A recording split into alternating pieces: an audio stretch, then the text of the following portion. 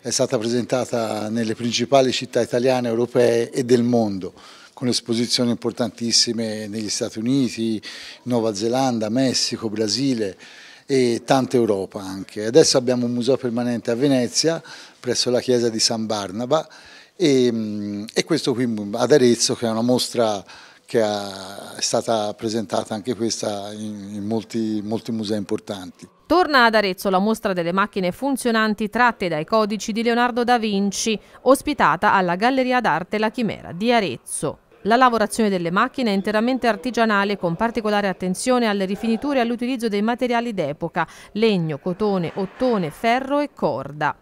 È composta da una 45 di modelli che si articolano sull'architettura, sulla meccanica, sul volo, sulla guerra, alla difesa delle mura, tecniche d'assalto, carri coperti per attacchi alle mura, catapulte, tutti i temi eh, che poi sono stati purtroppo sviluppati e Leonardo era contro la guerra, però gli furono commissionati questi disegni e lui ha fatto delle cose eh, straordinarie, anche lo studio della balestra che era grande 17 metri, poteva sterminare con un solo colpo una, una distesa di, di persone notevole.